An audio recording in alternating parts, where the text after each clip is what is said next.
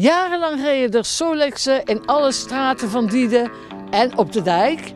Maar dat gaat veranderen, want er is een uh, milieubewust alternatief gekomen. Een elektrische chopper en een elektrische step.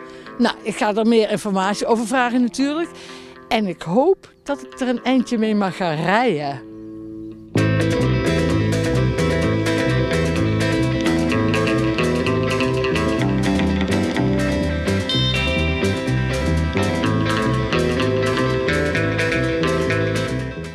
Dag Kim eh, van de Straten. Jullie hebben iets uh, bijzonders gedaan. Jullie hebben de, uh, er iets uitgegooid en iets nieuws erin gehaald. Wat is er weg? Um, nou, in dit geval waar we nou over praten zijn, zijn de Solexen weg. We hebben natuurlijk 14 jaar lang Solexen verhuurd. En daar zijn we vorig, eind vorig jaar na het seizoen mee gestopt. want het was klaar, het was mooi geweest. Iedereen heeft al een keer Solex gereden. En ja, de huidige maatschappij vraagt om iets anders. Dus uh, we zijn uh, geswitcht en uh, in dit geval naar e-shoppers en e-steps. E-shoppers en e-steps, dat is dus iets elektrisch? Ja, beide elektrisch inderdaad aangedreven.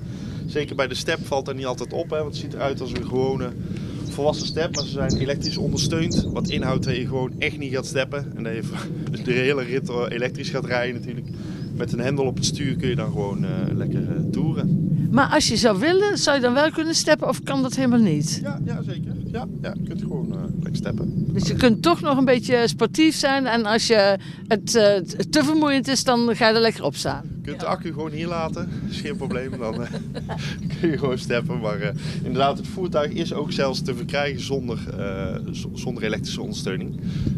maar ja, het hoort natuurlijk bij, bij relax recreëren hoort die elektrische ondersteuning hoort er wel bij. Dan kun je wel verder. En dat is voor, ook voor veel meer mensen uh, uh, ja, toegankelijk. toegankelijk ja. ja, ja. En um, daarna staat met het hoge stuur de chopper. Ja. Ik vind hem, zei ik al, een beetje lijken op een oude poeg. Maar dan rijdt hij langzamer, denk ik, hè? Uh, nou ja, de oude poeder ligt er een beetje aan. Uh, met helm die mag. Opgevoerd, hè? Ja, ja precies. Die mag tot, uh, tot 45 vroeg met, met, met helm. Tot 25 zonder helm. En dan vallen deze ook onder. Dus het is zonder helm. En daarmee gaan ze inderdaad iets zachter dan de opgevoerde poeg, zeg maar. Maar je rijdt er altijd 30 mee. Ja.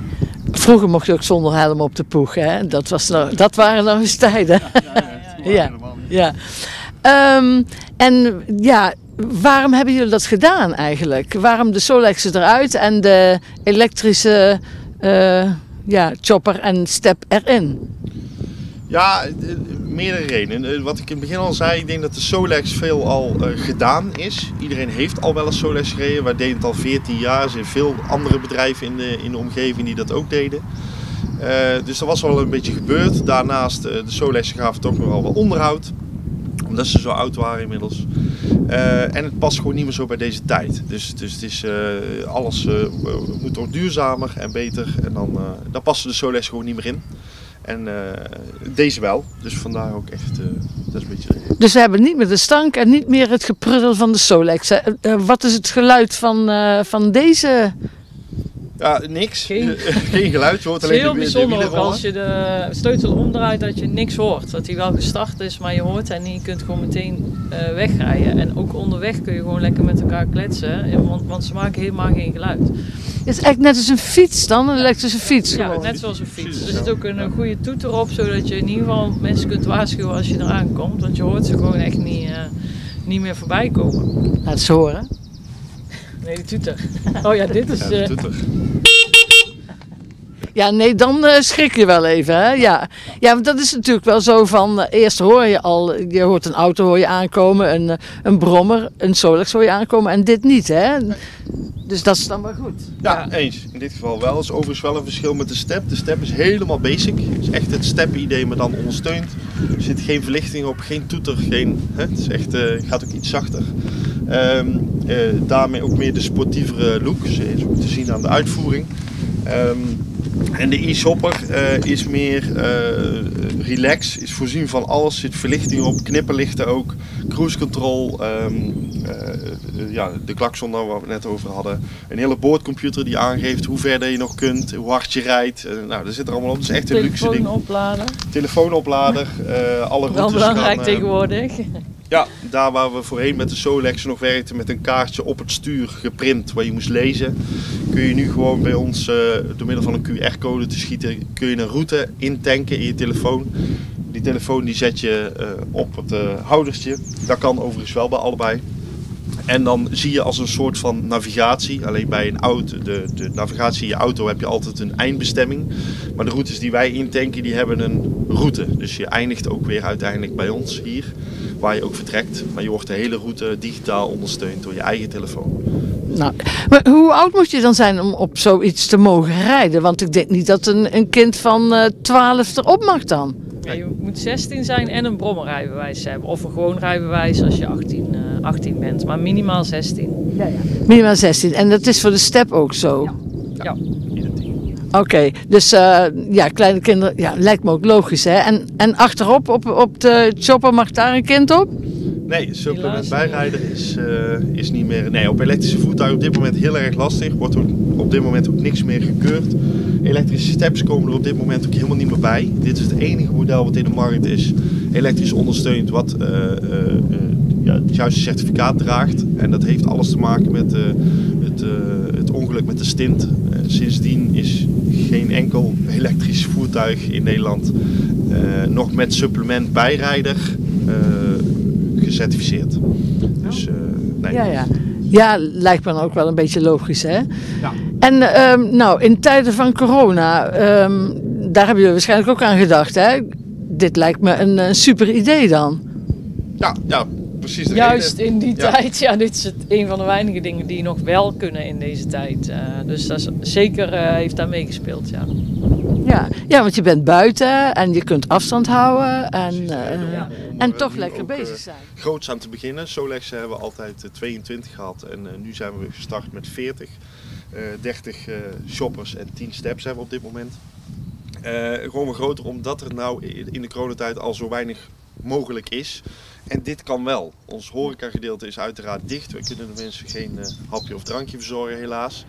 Um, maar het rijden kan gewoon. En ook uh, hoef je niet te houden aan een huishouden of aan een gezin. Nee. Je kunt gewoon met z'n allen lekker om rijden. Wij zorgen dat ze buiten klaarstaan. Als de mensen zorgen dat ze hier komen, dan kunnen ze gewoon lekker uh, ja op weg. Nou, we hebben nog wel, uh, want we hebben geen horeca hier, maar je kunt wel een picknickpakket of een borrel meenemen voor onderweg. Dus dan heb je toch nog een beetje het uh, terrasjesgevoel, moet je alleen zelf even een plekje zoeken. Eén borrel neem ik aan. ja, bij de borrel zitten ook uh, tappenhapjes vooral, uh, inderdaad. En één borreltje of een drankje. Ja, ja, ja. ja want uh, meer, ja, alcoholvrij drankje. Ja, ja, ja. ja, het klinkt zo, maar het klinkt natuurlijk lekker als je zegt een borreltje met hapjes. Dan, ja, nee, dan zegt een glaasje sinaas met, met hapjes. Ja.